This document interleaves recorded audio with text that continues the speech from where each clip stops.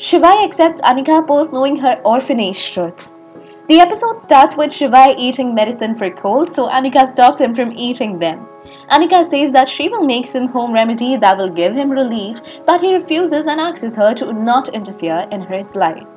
And asks her not to interfere in her medicines. Anika recalls something seeing the medicine. She recalls that Mahi was also eating the same medicine, which means even he was suffering from the same problem.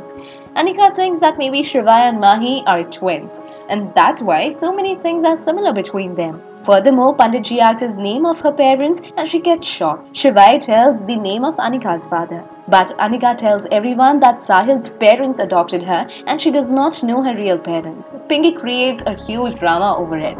Shivaay stops the puja and goes from there. He recalls Anika's words. Anika calls him but he does not pick up her call. Anika cries and sends him voice message. Just then Shivaay comes there.